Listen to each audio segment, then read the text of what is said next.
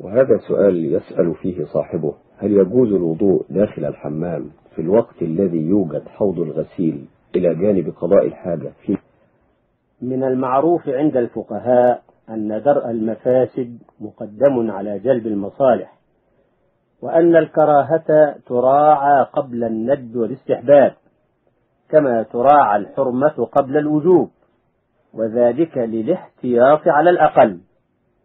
ومعلوم أن المكان الواحد الذي يجمع هذه المرافق يغلب عليه التلوث والتعرض للنجاسة إن لم تكن هناك عناية بالغة بالنظافة.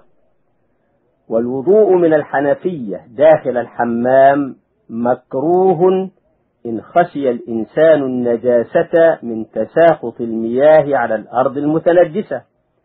ووجد مكانا آخر يتوضأ فيه غير هذا المكان. فإن أمن النجاسة أو لم يوجد مكان آخر للوضوء فلا بأس بالوضوء في الحمام.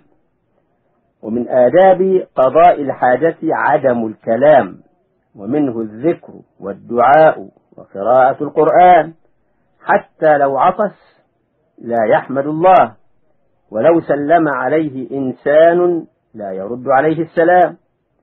ولو سمع الأذان لا يجيب المؤذن.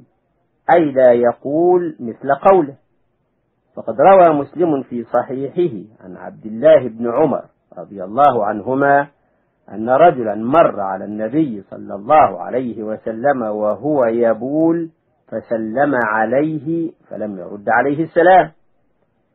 ورأى العلماء أن هذا المنع لا يقتصر على حالة قضاء الحاجة التبول والتغوط بل يشمل وجود الإنسان في هذا البيت المعد لقضاء الحاجة. وعليه فإن المتوضئ في الحمام لا يسمي ولا يذكر الله أثناء الوضوء ولا قبله ولا بعده حتى يخرج منه. والحكم هو الكراهة لا الحرمة فليس في المخالفة عقوبة والأفضل عدمها.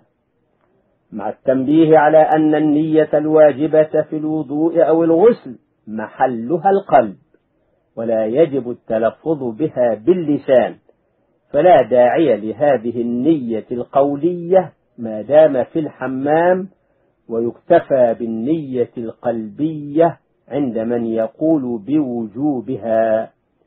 ومحل كراهة الكلام إذا لم تكن هناك ضرورة أو حاجة تدعو إليه كالتنبيه على خطر أو الرد على من ينادي ونحو ذلك.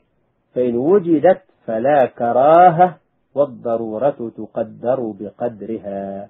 الله أعلم.